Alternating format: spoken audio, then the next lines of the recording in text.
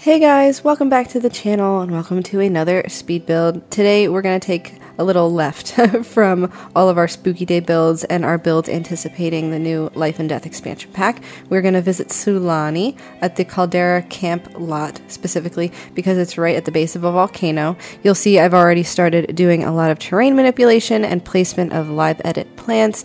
Did use a lot of tool mod and a lot of uh, finagling basically just to get everything where I needed it to be. And while I was doing the terrain manipulation and the placement of the platforms, I was recording. However, you know how how technology is. I had encountered an error while recording.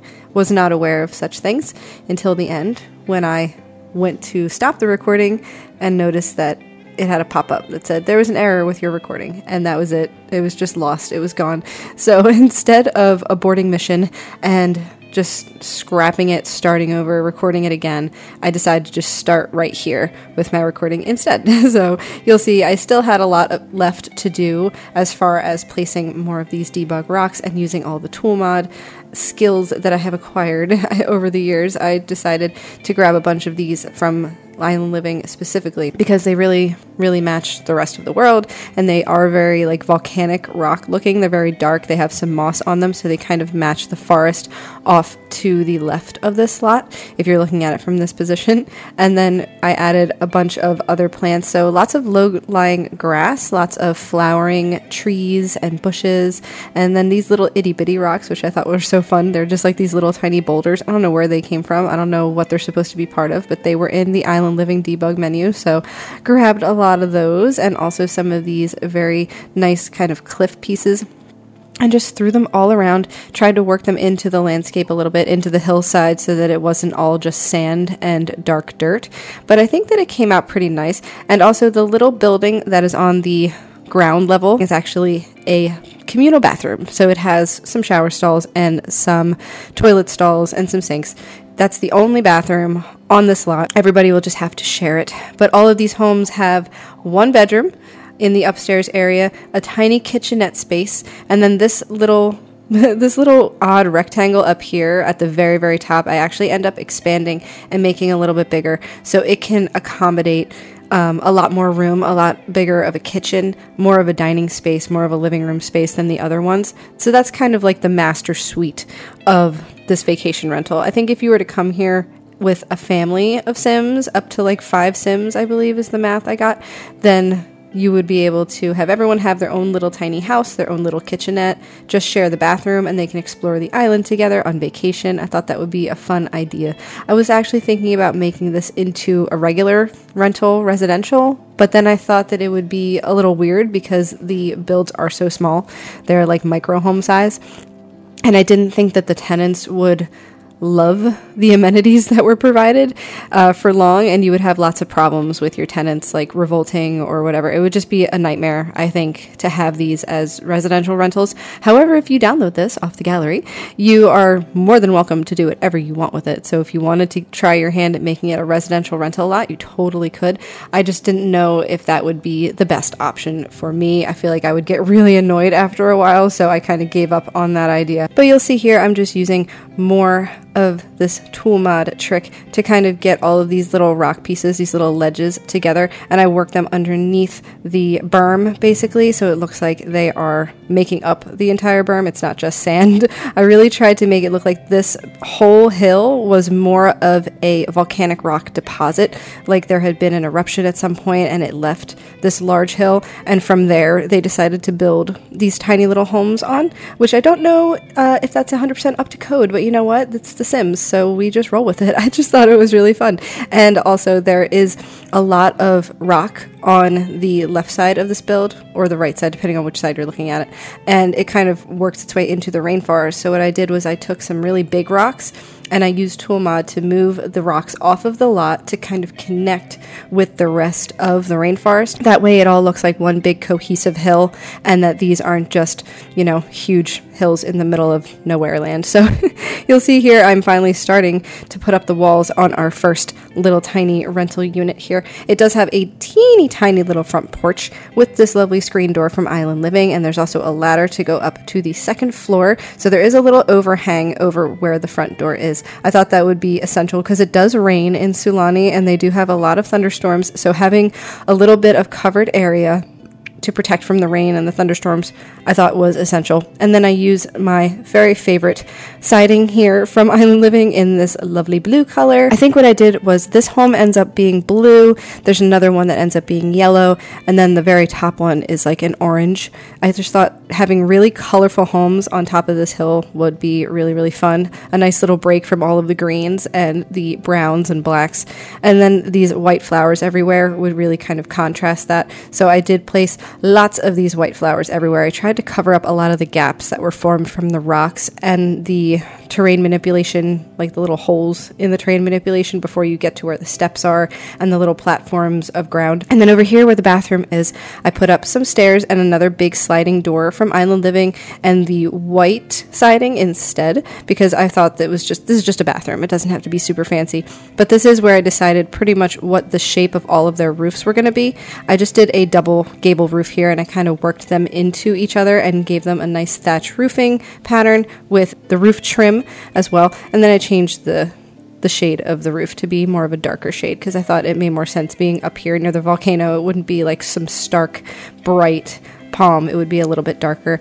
And then in here is the bathroom. It's a little dark right now, so it's hard to see, but we have two bathroom stalls and I worked in two of these open air island living windows behind the bathroom stalls, as well as the horse ranch shower stalls. And then we're finally adding some light to this other building here so that I could finish it up when I came back. I think I did this in like four sessions, four building sessions. It took me quite a bit of time. I just wanted to make sure I got all of the details correct, and I love that roof shape. So I'm really happy with that. And then here is the second home. You'll see the little front porch is on the opposite side. I just thought it would be nice to kind of break up a little bit. It does have a very similar shape, although the upper deck space ends up being a little bit of a different shape and it's more facing the back of the lot versus the front.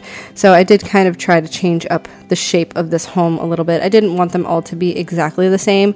I wanted them to have their own little unique shape about them. Same roof though, because I really do like that roof. I think it fits perfectly with the island. That one ends up being yellow. And then this home back here does end up getting bigger. Of course, it deleted my platform, which was really annoying. And don't worry, I do end up using the terrain manipulation to fix that spot where it's just like poking out there with the uh, the stilted foundation. I thought that didn't make any sense. I did not like that.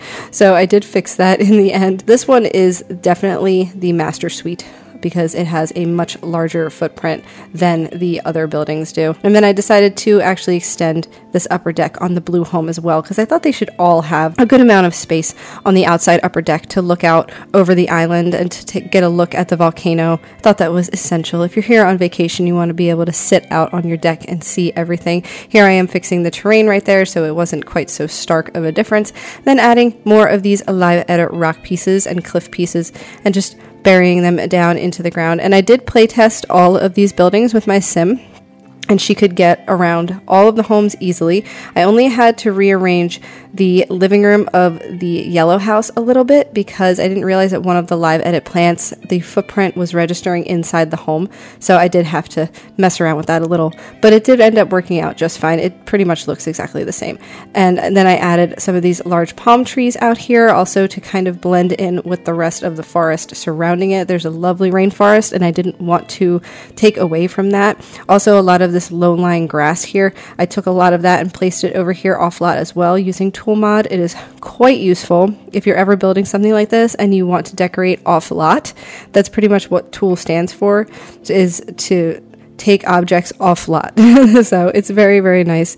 It came in very handy. Also, this tree right here in front of us is called a breadfruit tree in the live edit menu. So I thought that was a nice touch too. It's just a little different. It's very green. It's not so flowery. And all of these big leafy plants as well, I thought being over here made more sense. And then some more white flowers just to tie it all together and blend it in really nicely. Now you can't add terrain paint over here. So that is kind of a bummer because it is off lot.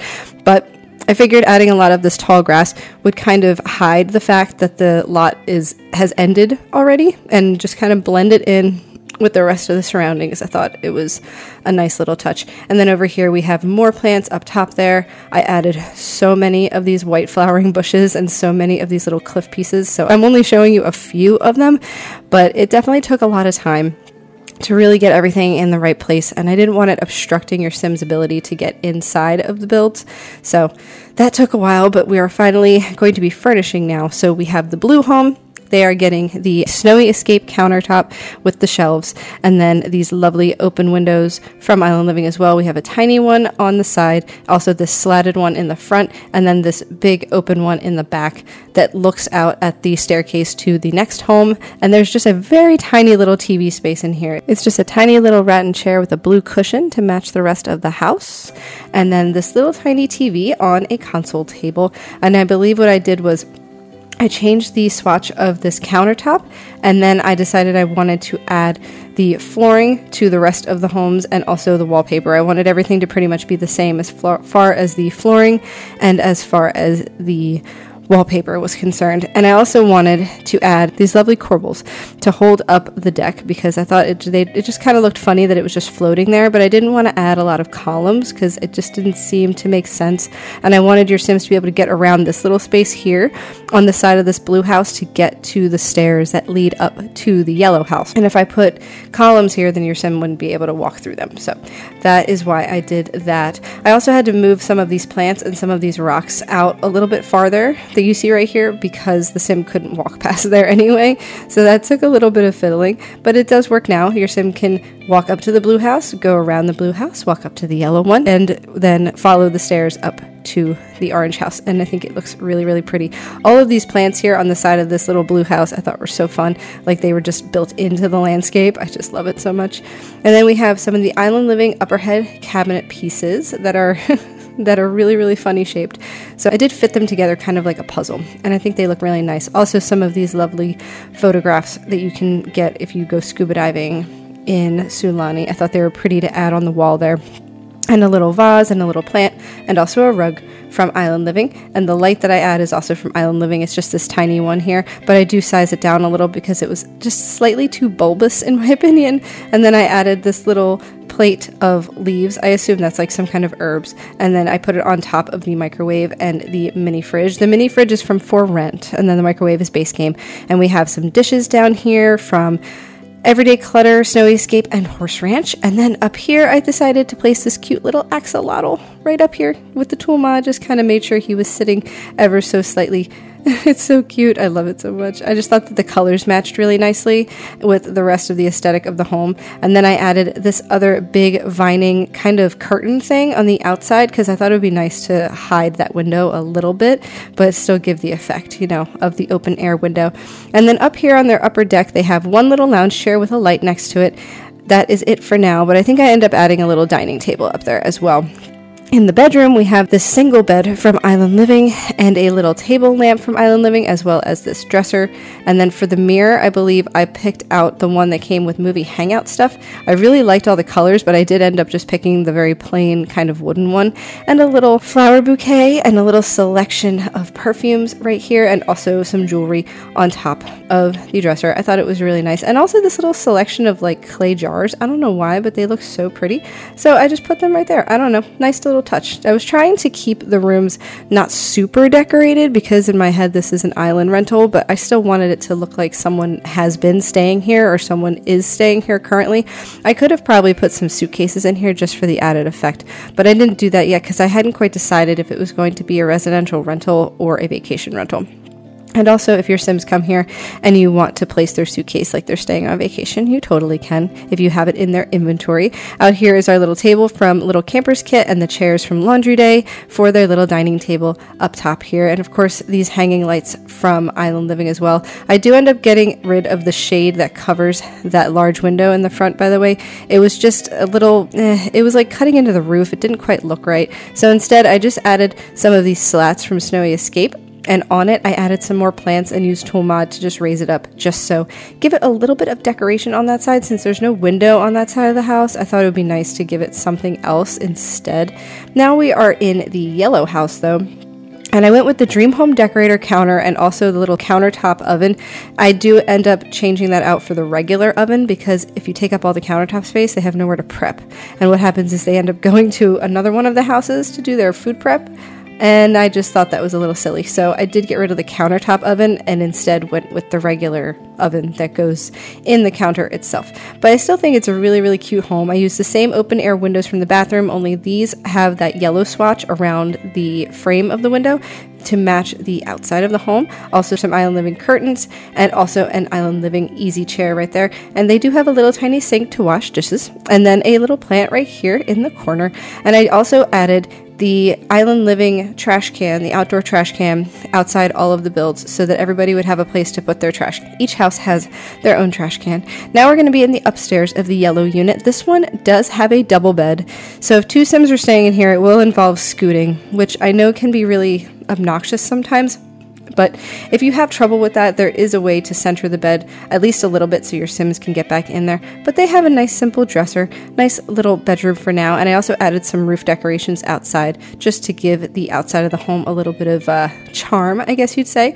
In here we have a mixture of island living curtains and also the Bloomin' Room vining curtains just to add a little bit more greenery on the inside. And then I have a Dream Home Decorator painting and also this shelf from Snowy Escape underneath it. I was actually thinking about putting a wall mounted TV but I thought that that wasn't necessary because there's a TV downstairs.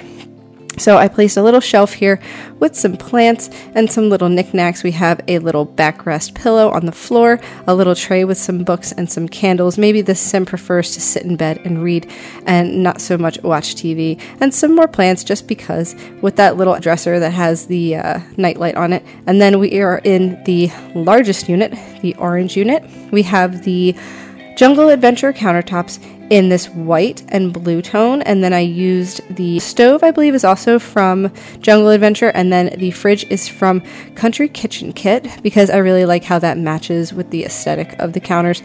And we also added a nice range hood. We added some overhead cabinets in this one as well. And I thought having a pantry cabinet in this unit would be really nice. These are from Dream Home Decorator, by the way. I thought they would be really nice to have because a lot of the other ones do not have a lot of overhead cabinet space. And I imagine that this would be like where the parents would stay. Say you came with some of your children, your Sims children, this would be where the parents would stay because it is the largest and most accommodating. Maybe this is where everybody hangs out when they're not doing their own thing around the island. So maybe they have some teens or some children and they stay in their own little homes. And this is where mom and dad stay because they trust their kids apparently in their own little house, which is, you know, hey, that's got to be nice. And then we have their upstairs space. Again, this dresser, I really like this dresser. I just move it over to the side a little. I didn't want to block the door too much. And then I also used the mirror from For Rent. I thought that was really pretty. And some plants in here. We got a nice little bromeliad on this side. And then on the walls, I used this lovely wall decoration from For Rent, that elephant. And there's a little light on the dresser.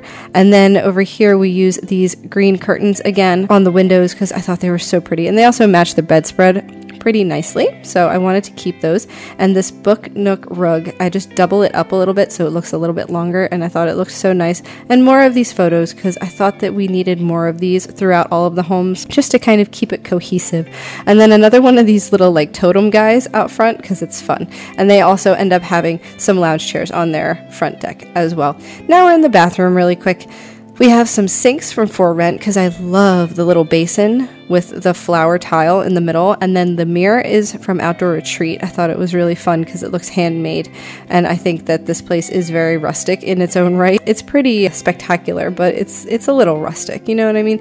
It's kind of at the base of a volcano, so you know, stay at your own risk kind of thing. And then we have the toilet stalls from high school years because I thought those were like the nicest looking, but they also had a little bit of wood accent on them, so they made the most sense. We have a ceiling light from Snowy Escape because I like the kind of light that it shines in here. It's very soft. And then out here we have a little fake laundry space, a little fish hanging rack over here, and some mailboxes that I'm going to add on this side. I don't know if when you were staying here you'd use these mailboxes, but it's nice to have the option if they want to send a postcard to their relatives, they have somewhere to put it so the mail can be delivered and taken away. And then a lot of these torch lights I place these all over the lot. This is the last thing I end up placing because I thought that we needed a little bit of light. And then in the screenshots, you will see all of the rest of the decorations I ended up putting in all the homes because I went back a few times to finish up the decorations. But here we have our volcanic hillside rentals. I have it labeled as a three bed, one bath because it has one communal bathroom and it is on the 30 by 20 Caldera camp lot in Sulani and it is super affordable. So I really hope that you enjoyed watching this build. I know it's a little break from all the other content you're probably seeing with the new Life and Death early access and all of the Halloween builds and the spooky builds. I just thought it would be fun to do something a little bit different, something that popped into my head that I was like, you know, it'd be really cool. Some volcanic hillside rentals. I don't know. It makes sense. It just popped in my head. So I hope that you enjoyed it too. It is up on the gallery now under my gallery ID, Miss Chris Builds. And I really look forward to seeing the rest of the early access content. I hope that you guys stay tuned because as soon as I get my hands on that pack, I will also be building cemeteries and spooky lots and haunted lots, hallowed grounds lots. I'm so excited. So thanks again for joining me here today. Please be sure to like and subscribe if you have not already. I look forward to hearing from you and I'll see you guys next time. Bye, guys.